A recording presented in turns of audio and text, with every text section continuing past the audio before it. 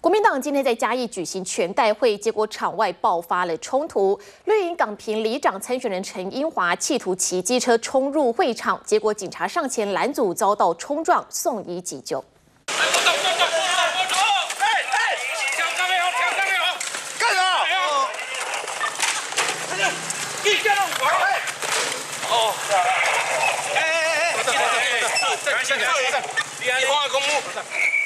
来，出卡来，来，来，好先生，来，来，公墓。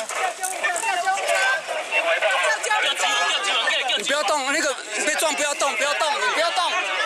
我讲哦，事先录与大同。叫有人开啊！哦，车车警察跳干来搞弄的哦。起来起来起来！